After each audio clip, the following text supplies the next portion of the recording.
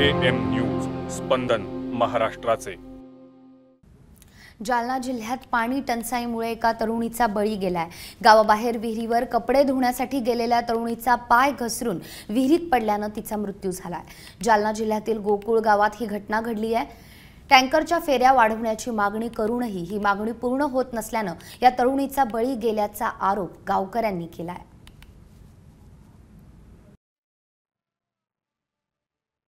हे दोघी जर मुली इथं आल्या. प- धुणं धुवायसाठी. पाणी काढता काढता तिचा तोल गेला. गावकऱ्यांना खूप प्रयत्न केले वाचवण्याचे पण ती काही वाचू शकली नाही. तलाठीत म्हणतो बुवा नाही मा- मी इलेक्शन ड्युटीतच म्हणतो. तो एकही दिवस कधी आला नाही गावाकडं किंवा पाणी टंचायची बघा याच्यात काहीही विचारलं नाही. त्याला विचारलं की तू पहिले उत्तर देत राहता की मी इलेक्शन ड्युटीला आहे. मला काही सांगायचं नाही ते. भयानकच परिस्थिती आहे. पाणी पाहता पाहता दिवसभर फिरत्या लोक. दोन दोन तीन तीन भांडे विकून पाय तिकून पाय भांडी घेऊन येत्या. परंतु दिवसभर हे पाण्याशिवाय दुसरं आम्हाला काहीच सुचत नाही आमच्या गावामध्ये. आणि काल अचानक या दोघी जणी पोरी धुणं धुत असताना आम्ही सगळेजण येऊन सणी आणि ते खूप प्रयत्न करून पाहिला परंतु तोपर्यंत ते आमच्या हाती लागलं नाही. विहिरीवर धुणे ते हे करतो आणि पाण्यासा पिण्याच्या पाण्यासाठी ते एक टाकी पाणी वापरतो.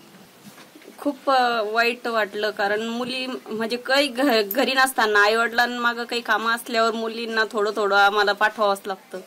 त्यासाठी मुली गेल्यावर आमचा सगळा जीव त्यांच्याकडं असतो.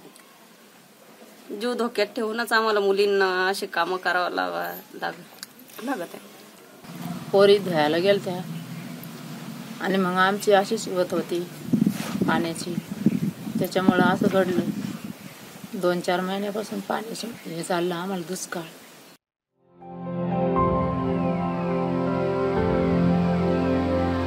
ए एम न्यूज स्पंदन महाराष्ट्राचे.